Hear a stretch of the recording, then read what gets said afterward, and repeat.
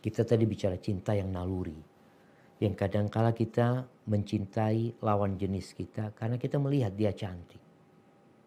Kita senang sama dia. Apalagi dia ini cantik, dia ini soleha, baik. Maka kita cinta sama dia. Tapi jangan sampai cinta ini mengantarkan kepada yang haram. Karena ada yang halal. Cara yang halal bagaimana adalah meminang dia. Kalau ternyata kayaknya belum umur anak Ustaz untuk menikah sekarang ini. Dia ditahan.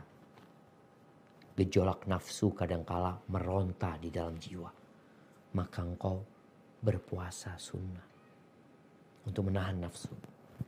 Hindarin pertemuan dengan perempuan tersebut. Karena biasanya orang kalau cinta itu kepingin ngeliat itu perempuan. Dia tahan diri.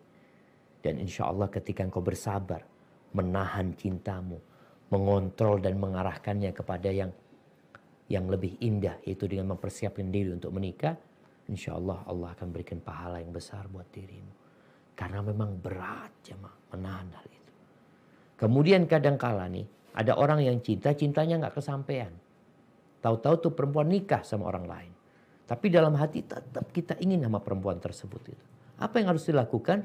Maka arahkan kepada yang lainnya. Tatkala memang dia sudah milik orang lain, semoga Allah memberikan ganti yang lebih baik buat engkau. Namun jamaah memang perjuangan itu harus dibalut dengan doa, minta sama Allah Azza wa Agar jiwa kita dijaga. Di antara doa yang diajarkan Nabi SAW, beliau mengatakan Allahumma inni a'udzubika min syarri sam'i wa min syarri basari wa min syarri lisani wa min syarri qalbi wa min syarri mani.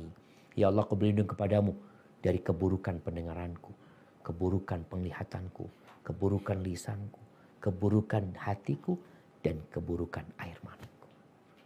Hada wallahu alam.